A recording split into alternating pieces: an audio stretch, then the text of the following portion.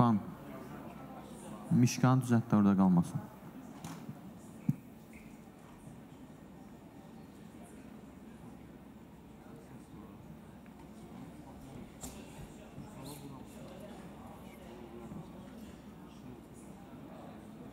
Azım qoşulmuyor.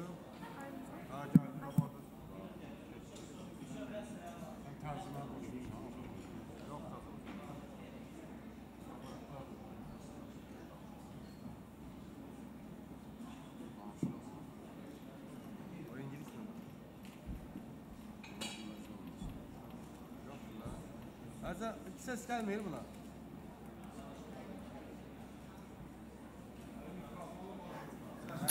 Test test var.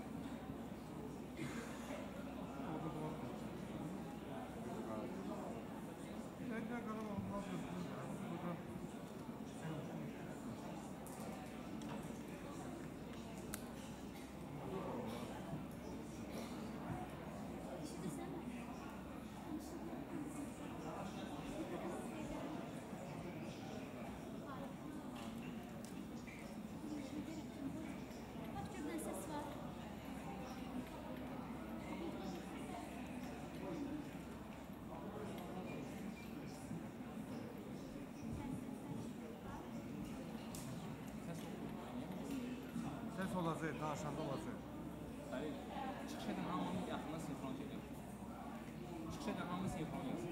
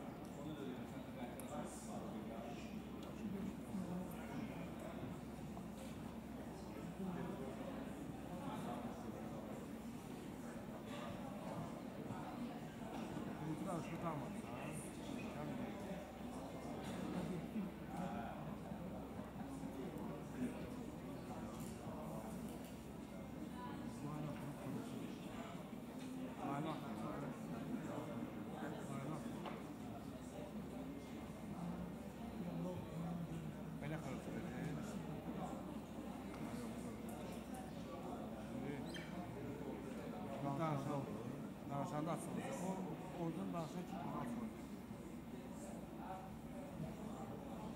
Gəlmə səsiz.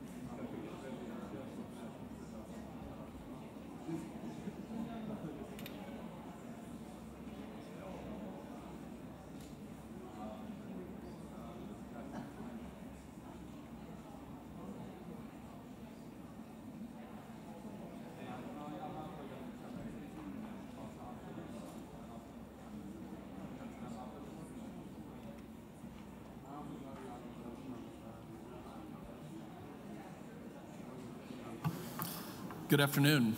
Uh, my name is August Pfluger from Texas.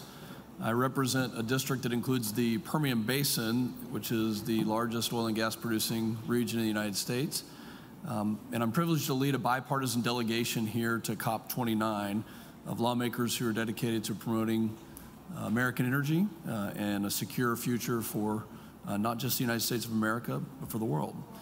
Last week, the people in the United States overwhelmingly supported President Donald Trump and his promise to restore American energy dominance. And we believe that we're in an energy expansion, that the needs of the world are going to continue to include increased supply.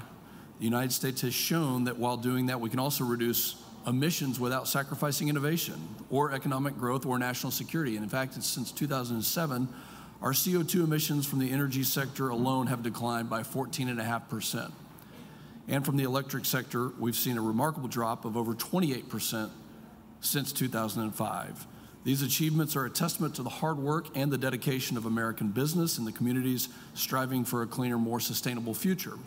We've also significantly improved air quality, reducing harmful air pollutants by almost 80% since 1970. And these milestones demonstrate that a commitment to environmental stewardship goes hand in hand with economic progress.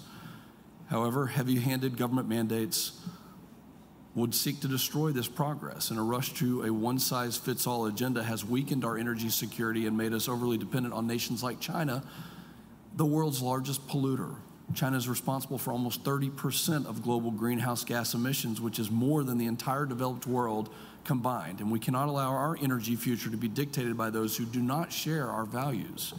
To truly lead in this space, we need a diverse energy portfolio that includes liquefied natural gas, hydropower, nuclear, clean coal. Last year, the House of Representatives passed legislation which was called the Lower Energy Cost Act, and it cut reliance on foreign energy sources like the Chinese dirty energy sources, but it promoted clean American energy. And I believe that we should continue, if we care about our world, if we care about our environment, to leverage the United States, the innovation that comes out of the United States, including nuclear and LNG. American natural gas has helped us reduce emissions more than any other nation, and we have the capacity to continue helping our allies reduce their emissions by exporting clean, reliable sources like LNG and nuclear. Additionally, while we bolster the nuclear capabilities through the Nuclear Fuel, Fuel Security Act, Bi this bipartisan effort will strengthen our domestic uranium production and reduce our dependence on foreign sources, as I previously mentioned, all while providing a significant portion of our carbon free electricity. With the global demand for energy projected to double by 2050, we cannot afford to lose the production war to nefarious actors and to those who don't share in our values. As we engage with our international partners here at COP29, it's crucial to work together to promote solutions that prioritize energy security and environmental responsibility. And by leveraging the innovation that we see in the United States and elsewhere, I think we can do both. Thank you, and I'd like to turn it over to my colleague. Thank you all very much. I'm Congressman Morgan Griffith. I represent the southwestern corner of the state of Virginia. And uh, that district is heavily reliant for, in its economy on coal production and natural gas. Natural gas is coal bed methane. And while we need to work to have a cleaner industry to address climate change throughout the world, I don't think we've looked closely enough at new pollution control and emissions capture technologies. Our country has, the United States has a great university research system. In my district, that's Virginia Tech. We're doing all kinds of research.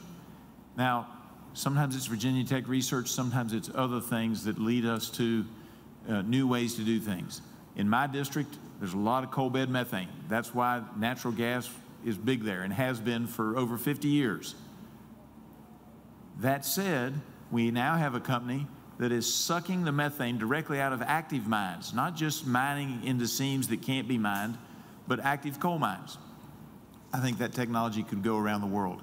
We also have a company that has flatbed uh, filter technology that can, you tell them what kind of gas you want to pull out of whatever kind of factory you've got or just out of the air, and they can pull it out. There's lots of technology that's coming along, and I think we need to take a look at that. And the reason I feel that way is, is that a, an area that has natural resources should not be penalized because we're not looking at the opportunities to have a cleaner world and still use fossil fuels. My district has one of the uh, least economies in the United States, but they're proud folks and they want to work. I think that's true for a lot of countries as well. And with technology, we can solve a lot of these problems without just banning fossil fuels. And that's why I'm here. I want to share these thoughts. I want to work for a cleaner America and a cleaner world. And I now yield to whoever's next. Mr. Balderson. Thank you, Mr. Griffith, and uh, thank you all for having us here. We're honored to be here. We sit on the greatest committee in Congress, which is the Energy and Commerce Committee, uh, so it's great to be here with all of you and certainly my colleagues. I'm Congressman Troy Balderson. I represent the great state of Ohio, but more importantly, Central Ohio, which um, I, I got to throw a plug in for the OSU uh, number two Buckeyes because my colleague from to my right is a Michigan guy. So um, the I don't know this person. um, we're, we're, here and we're glad to be here. And the part of Central Ohio that I represent is now becoming the largest facilities of data processing uh, in the country now um, and it's, our, our energy uh, demand has spiked. It's, it's impacted our constituents with the cost of energy. Um, we're losing the baseload energy that we so desperately need to operate these facilities. I also represent the Utica Shale facility, um, which is in the southeastern part of, of, Ohio. So we're honored to be here uh, today, and uh, I turn it over to Mr. Obernolte from California. Well, thank you very much. I'm Jay Obernolte from California. It's an honor to be part of this bipartisan delegation. In addition to my role on the Energy and Commerce Committee in Congress, I am also the co-chairman of the Fusion Energy Caucus. And the message that I'd like to deliver is that I am absolutely convinced it's impossible for us as a worldwide community to meet our climate change goals without nuclear it's abundantly clear that the world abandoned fission energy production far too early, and that in retrospect, the environmental consequences of fission energy production were much lower than the consequences of continued reliance on fossil fuel for energy production. We have some very promising new technologies in small modular reactors and other next generation nuclear gen, uh, technology that the United States stands ready to help the worldwide community in exploiting. But I'm also very excited about the prospect of fusion energy. Events in the last year have made it clear that commercial generation of fusion energy is something that has gone from being something that might be, be, possible in our lifetime to something that will definitely be possible in the next 10 years or so. Fusion energy will be by far the cleanest energy that mankind has ever learned how to produce, and the environmental consequences of fusion are far lower than any other generation technology. And if you want to be optimistic about the chances that we will see commercial fusion energy generation soon, look at the fact that we are seeing the investment of billions of dollars of venture capital, not government money, but venture capital in fusion energy production. So I'm very optimistic that this is going to be one of the key drivers in our ability to limit worldwide uh, a temperature rise to less than one and a half degrees. And uh, I'm excited to help us reach that goal together. Thank you very much, and I'll yield to my colleague from Michigan. Congressman John James representing Michigan 10. And uh, as you all well know, Michigan is a peninsula state. We are surrounded by the Great Lakes, the largest freshwater reserve in the world. And we are proud to be the Great Lakes state. But I also represent the number one manufacturing district in the entire United States. We understand quite well the balance in economical sustainability and environmental sustainability. We understand the need for industry growth with uh, sustainable, reliable energy sources, but doing so in a clean manner that protects our air and our water. This is why we're here.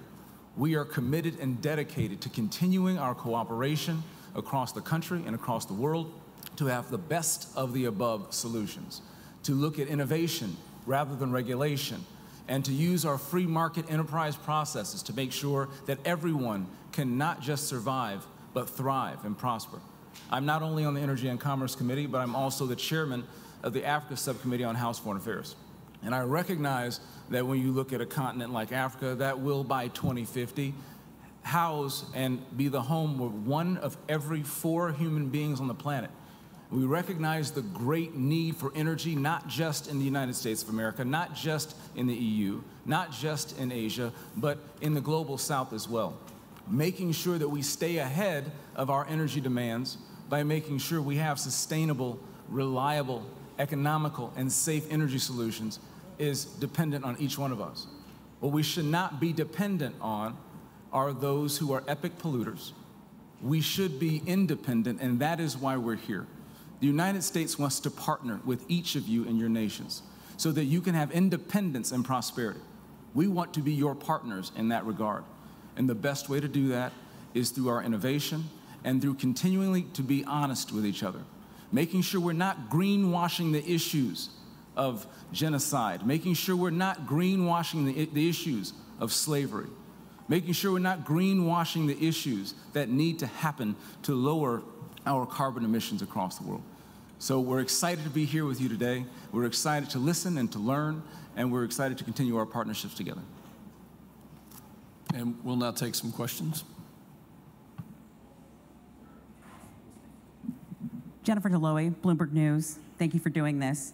Uh, the question on everyone's mind here at the COP is, of course, will America continue making progress on zero emission energy and climate? Um, you, I, am wondering what can you say to the manufacturers who are building solar plants, the oil companies eager to do hydrogen production, the automakers who are building battery components back home, and the workers who are in those facilities today about your support for and what you will do to ensure that the credits, the IRA credits that are supporting those projects will stay intact, even when you hunt for cash for pay-fors to offset the 2017 tax cut extension next year. Um, what are you going to do to keep these, those IRA incentives in place, and will you do that? Well, th thank you for the question. And I think the uh, American population, like many other countries around the world for the last three to four years, has seen historic rates of inflation, historic cost increases of every product that each family relies on and, and depends on uh, on a daily basis. And, and I think on November 5th in the United States that that was the issue where Donald Trump was elected. That was the issue that dominated all 50 states.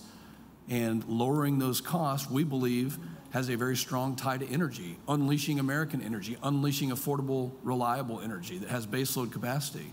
So if there are pieces and parts of the IRA that are not compatible with that, then that's going to be looked at in the 119th Congress starting in January. If there are pieces of the IRA that help support lowering energy costs, helping Americans, helping our partners and allies um, have access to affordable, reliable energy, then I bet that those will stay in place. We'll take the next question.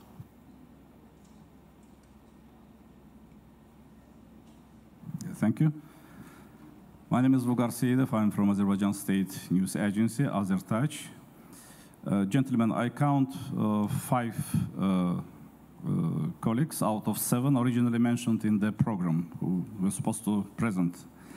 Um, and surprisingly, those two absent um, are those uh, among 60 co-signers of a letter sent to State Secretary Antony Blinken last month, calling uh, State Secretary to apply pressure on Azerbaijan. Now, my question is, is this absence uh, coincidence or is there any political meaning behind this? Thank you. Our, our focus here is to talk about energy, to talk about how American energy and the production of nuclear, LNG, and other sources can help achieve the same goals that are being discussed here.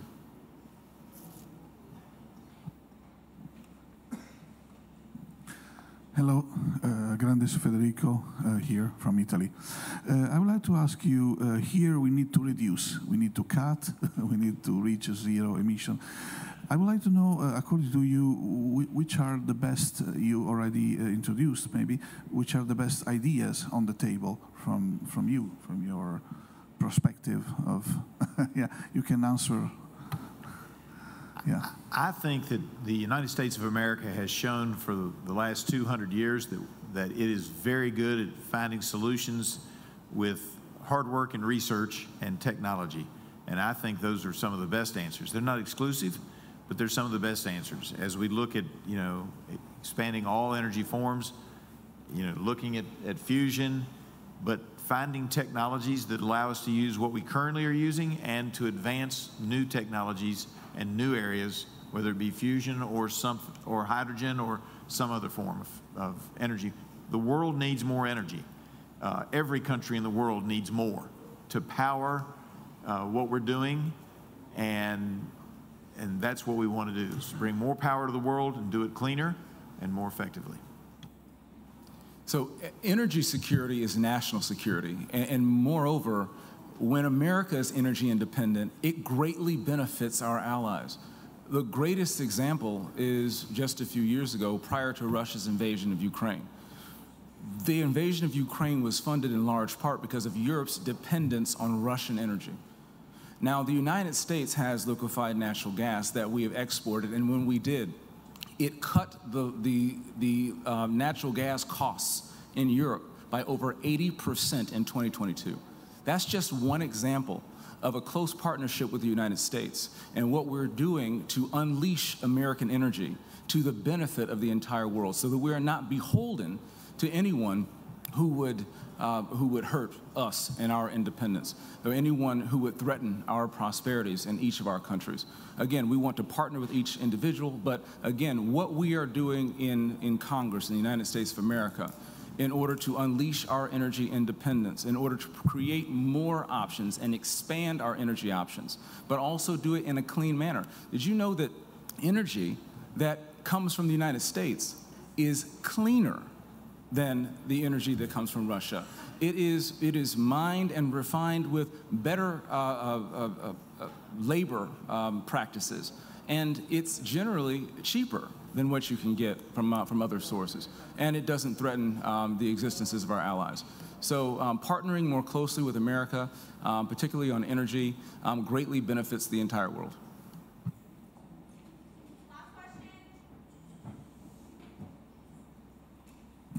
Hi, Jake Bittle from GRIST. Thank you for doing this. Um, as I'm sure you know, the main agenda item here at COP29 is about international climate finance. During his first term, uh, President Trump proposed to zero out international climate finance. That didn't happen owing to the Senate, but I'm wondering if you made that proposal again, what would you uh, say in response uh, since you are in Congress? Well, we're, we're certainly not going to get in front of the president elect. Um, he hasn't taken office yet. He's determining who his cabinet members are. Uh, but what I think we can say is that um, what, what I think we want to do is to continue, as my colleagues have said, to unleash American energy, to unleash innovation throughout the world that, that benefits in a co- connected world from affordable, clean, reliable energy. When you think about the, uh, the fact that not only is the cost better, but it's also something that lowers the emissions rates, um, we don't want to sit back and see other countries that aren't participating, that don't apply the same standards, yet that do benefit from the, the, the money, whether it comes from the United States or any other country for that matter, uh, but it's forcing up prices, energy prices, and, and domestic goods prices uh, throughout the world, but others are benefiting from that. I think this is the conversation at hand. The inflationary uh, results that we've seen in the last three to four years are not just in the United States, it's all throughout the world. Energy is the foundation of every single business. Energy is the foundation of our life. Energy is the foundation, and it's going to continue to grow. So when we talk about climate financing, I think we need to, we need to first start with what is best for human flourishing. What is best for humankind? And there are countries in sub-Saharan Africa, on the Indian subcontinent, that for the very first time have access to energy right now. They have access to energy because of countries that are here that have innovated, that have provided those sources of energy, that they no longer have to burn wood or other fuel sources that are not clean, that they can have access to LNG, that maybe at some point small modular reactors will be exported to some of these countries where they have that access. I think that's the conversation that we really need to focus on right now. So we're not going to get ahead of the president, but we do support the fact that if something is, is not congruent or not in support of lowering energy costs while reducing emissions, then you can bet that this Congress is going to take a look at that. Thank you very much. We appreciate the opportunity to be here, and uh, we appreciate the opportunity to have a press conference. Good day.